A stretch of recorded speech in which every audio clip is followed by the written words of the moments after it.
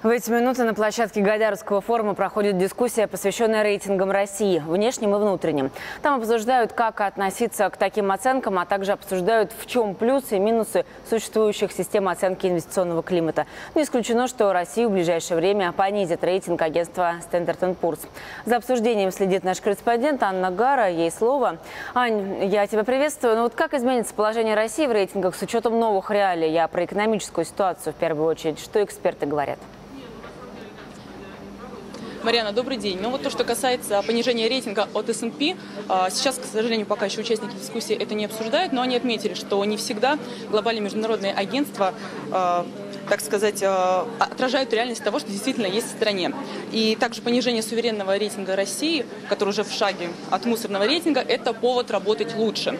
Замминистр экономического развития Станислав Воскресенский сказал, что а, в начале февраля ожидается то, что э, Всемирный банк э, пересмотрит методологию оценки рейтингов, и России следует опираться на международный опыт по привлечению инвестиций. Вот э, Максим Решетников, это министр правительства Москвы, отметил, что инвестиции очень важны для Москвы, и Москва конкурирует со многими столицами за привлечение инвестиций. Ну, я предлагаю послушать одного из участников этой дискуссии, это губернатор Тульской области Владимир Груздев.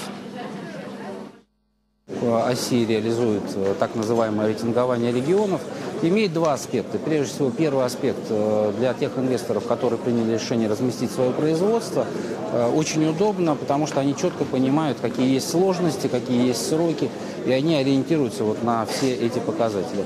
А второе, второе направление – это подсказывает органам государственной власти и местного самоуправления те направления, над которыми стоит еще поработать.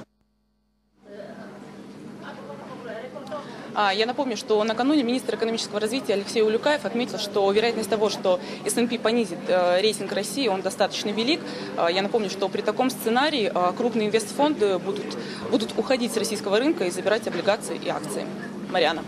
Спасибо, Аня. Наш корреспондент Анна Гара работает на Гайдаровском форуме. К этой теме мы еще вернемся, но сейчас к другим событиям.